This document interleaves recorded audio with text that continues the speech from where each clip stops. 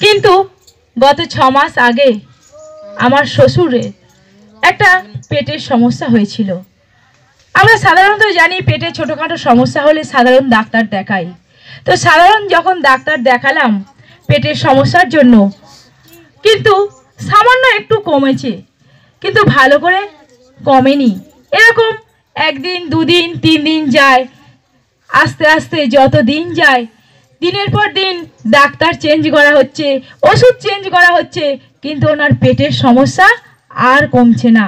পেটের সমস্যা দিনের পর দিন বেড়েই যাচ্ছে। দিনে দিনে উনি একেবারে অসুস্থ হয়ে নেতিয়ে পড়ছে। তারপর হসপিটালে ভর্তি করা হলো। সেখান থেকে চার পাঁচ দিন ভর্তি থাকার পর উনি একটু সুস্থ হয়ে বাড়ি ফিরলেন। কিন্তু বাড়ি ফেরার পর আমরা ভাবলাম হয়তো উনি সুস্থ হয়ে গেছে। কিন্তু সেখানে সুস্থ হয়ে যাওয়া তো দূরের কথা। কিছুদিন যাওয়ার পর ওনার আবার আগের মতো পেটের সমস্যা। পেটের মধ্যে শুধু হালকা যন্ত্রণা হতো আর মনে হতো আমরা জানি সাধারণত গ্যাস অম্ল হলে কি হয়? পেট ভুটভাট করে। তো এই রকম ওনার সমস্যা ছিল। তো এই সমস্যা কোনো মতেই কম ছিল না। তারপর হঠাৎ বমি হওয়া শুরু হলো। তারপর আমরা কি করলাম?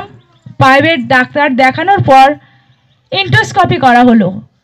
সেই ইন্টোস্কপিতে ধরা পড়ল যে খাবার এক থেকে দু মাস আগে খেয়েছে, সেই খাবারগুলো পাকস্থলিতে জমে আছে। সেই খাবারগুলো সোয়ারেনি একটাও। প্রত্যেকটা খাবার যেখানে খাবার ছড়িয়ে ছিটিয়ে পড়ে আছে পেটের মধ্যে।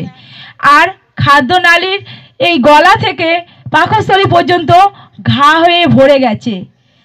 আর সেই ডাক্তারবাবু বলল, সমস্ত রিপোর্ট করার পর যে ওনার ঘা এতটাই পরিমাণে বেড়ে গেছে যে কোনো মুহূর্তে উনি স্পায়ার করতে পারে।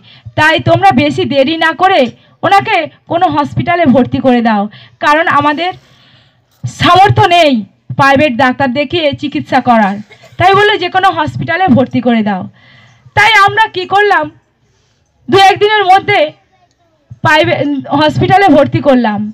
যখন হসপিটালে যেদিনকে নিয়ে গেলাম, সেদিনকে যখন গেলে হসপিটালে ওনার কোনো আর শ্বাস ছিল না। বাড়ির আত্মীয় স্বজন মানে গত দু মাস, তিন মাস ধরে এই রকম চলছে। আর যত আত্মীয় স্বজনরা যে যেখানে ছিল সবাই দেখে যাচ্ছে। কেউ বলছে না যে আর বাঁচবে। এমনই অবস্থা হয়ে গিয়েছিল। এমনই অবস্থায় ওনাকে হসপিটালে ভর্তি করা হলো যখন। মানে সবাই অপেক্ষা করছে, কোন মুহূর্তে খারাপ খবর আসবে? এই রকম অবস্থায় আমরা, সেদিন ছিল বুধবার, আমার বাড়িতে মণ্ডলী হয়। তো সেদিনকে আমি থাকতে পারিনি, তো বাড়িতে মণ্ডলী ছিল, সেখানে সবাই মিলে প্রার্থনাও করেছিল ওনার জন্য। তো সেই রাতে বাড়ির কারোর সঙ্গে যোগাযোগ করতে পারেনি নেটওয়ার্ক সমস্যার জন্য। তো বাড়ির লোকেরাও প্রার্থনা করেছিল ওনার জন্য। তো যেদিনকে নিয়ে গেলাম সেখানে ভর্তি করলাম। ডাক্তারবাবু দেখল, শুধু বলল, একটা ইঞ্জেকশন দিয়ে গেল আর বলল যদি শ্বাসকষ্ট হয় খবর দেবে। কিন্তু ওনার শরীর পুরো ঠান্ডা হয়ে গিয়েছে।